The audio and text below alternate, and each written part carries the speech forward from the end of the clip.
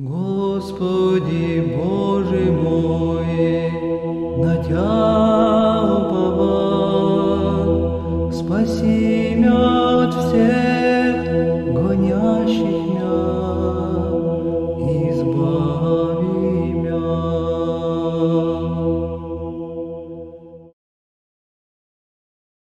Мир вам, дорогие братья и сестры!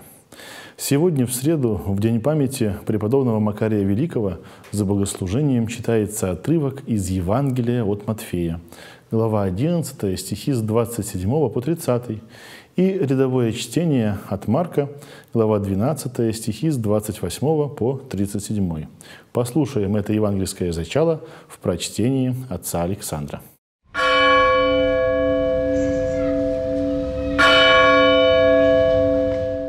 Во время она приступль-ка Иисусу единокнижник, и слышав Саддукея, истязающийся с ним, и видев, яко добре отвеща им, вопроси его, «Кая есть первая всех заповедей?» Иисус же, отвеща ему, «Яко первейший всех заповедей, слыша Израилю, Господь Бог ваш, Господь един есть» и возлюбишь Господа Бога твоего всем сердцем твоим, и всею душею твоею, и всем умом твоим, и всею крепостью твоею. Сия есть первая заповедь, и вторая подобна ей, возлюбишь ближнего своего, яко сам себе. Больше сию и на заповедь несть, и рече ему книжник, добре учителю во истину рече, яко един есть Бог, и несть ин разве Его. И еже любите Его всем сердцем и всем разумом, и всею душею, и всею крепостью, и еже любите ближнего, яко себе, более есть всех всесожжений и жертв. Иисус же, видев, яко смысленно отвеща речи Ему, «Недалече еси от Царствия Божия, и никто же смеешь к тому Его вопросите». И отвещав Иисус глаголоша, уча в церкви, Како глаголит книжницы, яко Христос Сын есть Давидов. Той бо Давид рече Духом Святым, глагола Господь Господеве моему, сиди одесную мне, донде же положу враги Твои подножие ногам Твоима. Сам убо Давид глаголит Его Господа, и откуда Сын Ему есть. И мног народ, послушашь Его в сладость.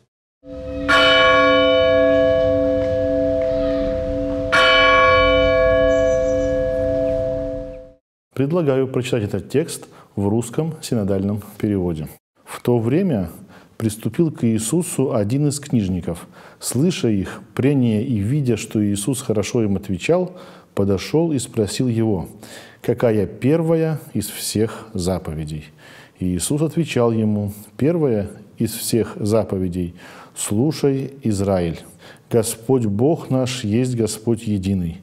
Возлюби Господа Бога твоего всем сердцем твоим и всею душею твоею, всем разумением твоим и всею крепостью твоею. Вот первая заповедь. Вторая, подобная ей, возлюби ближнего твоего, как самого себя. Иной больше из сих заповеди нет. Книжник сказал ему, «Хорошо, учитель, истину сказал ты, что один есть Бог и нет иного, кроме Его. И любить Его всем сердцем и всем умом, и всею душою, и всею крепостью, и любить ближнего, как самого себя, есть больше всех всесожжений и жертв. Иисус, видя, что он разумно отвечал, сказал ему, «Недалеко ты от Царствия Божия». После того никто уже не смел спрашивать его. Продолжая учить в храме, Иисус говорил, «Как говорят книжники, что Христос есть Сын Давидов – Ибо сам Давид сказал Духом Святым, «Сказал Господь Господу моему, сиди, одесную меня, доколе положу врагов твоих в подножие ног твоих». Итак, сам Давид называет его Господом. Как же он сын ему? И множество народа слышало его с услаждением. Две важных темы затронуты в сегодняшнем евангельском чтении, дорогие братья и сестры. Первая – о наибольшей заповеди в законе. Вторая – о том, кто же такой Христос. Христос – слово греческое. По-еврейски оно звучит как Машиах или Мессия. Мы неоднократно слышали в Священном Писании, что Господь не дозволял ученикам провозглашать Его Христом до тех пор, пока Он не наставил их в истинном понимании своего служения, потому как необходимо было радикально изменить их представление о Христе. Самым распространенным титулом Христа был титул «Сын Давидов». За этим скрывалось чаяние народа о том, что однажды явится наследник царя Давида, который уничтожит врагов Израиля и поведет народ к завоеванию всего мира. Эти ожидания мы встречаем на страницах Евангелия. Слепые, просящие прозрения, кричали ему «Помилуй нас, Господи, Сын Давидов!» И когда Господь входил в Иерусалим, то, что мы читаем у евангелиста Матфея, народ же, предшествовавший и сопровождавший, восклицал «Асанна сыну Давидову, благословен грядущий во имя Господне, Асанна Вышних». Асанна означает «спаси нас», то есть «спаси нас, сын Давидов». Но Господь открывает ученикам и фарисеям иное значение Мессии – он цитирует первый стих 109-го псалма. «Сказал Господь Господу моему, сиди, одесную меня». Все понимали, что этот стих говорит о Христе. Спаситель указывает на то, что Давид называет Христа Господом. А значит, он не просто сын Давида во плоти, он Господь Давида, ибо Христос – Сын Божий. Этим Спаситель говорил иудеям о том, что пришел в мир объединить людей не силой оружия, а силой любви, которую он ставит на высшее место во взаимоотношениях между Богом и человеком. Эти взаимоотношения и есть вера или религия. Господь цитирует слова книги Второзакония – и люби Господа, Бога твоего, всем сердцем твоим, и всею душою твоею, и всеми силами твоими». Это значит, что мы должны отдать Богу всю любовь. Любовь, которая владеет всеми нашими чувствами и направляет наши мысли и поступки.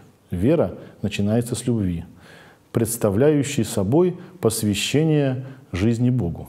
Вторая заповедь, которая, по словам Христа, подобна первой – цитируется Господом из книги Левит.